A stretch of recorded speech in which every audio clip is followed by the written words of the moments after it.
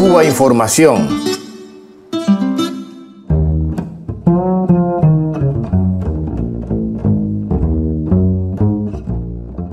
Una jueza de Estados Unidos ha aprobado finalmente aplicar la alimentación forzada a un preso en huelga de hambre en la cárcel de Guantánamo. Abu Wa El Diab, sirio recluido desde 2002, se niega a ingerir comida y agua.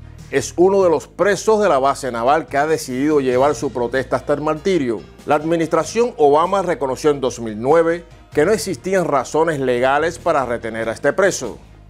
Pero cuatro años después, su situación como la de la mayoría de los 155 presos del penal, continúa en el mismo limbo legal.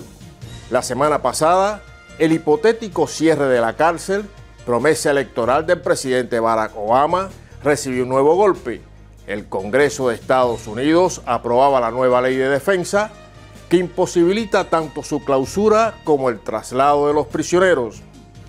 Por otro lado, la revista Harper's ha publicado nuevos testimonios que apuntarían a que en junio de 2006 las autoridades de la base naval hicieron pasar por suicidio el asesinato de tres prisioneros. Estos habrían fallecido tras ser torturados mediante el método de la asfixia simulada en un lugar secreto de dicha cárcel, conocido como Camp Nou o Penny Lane.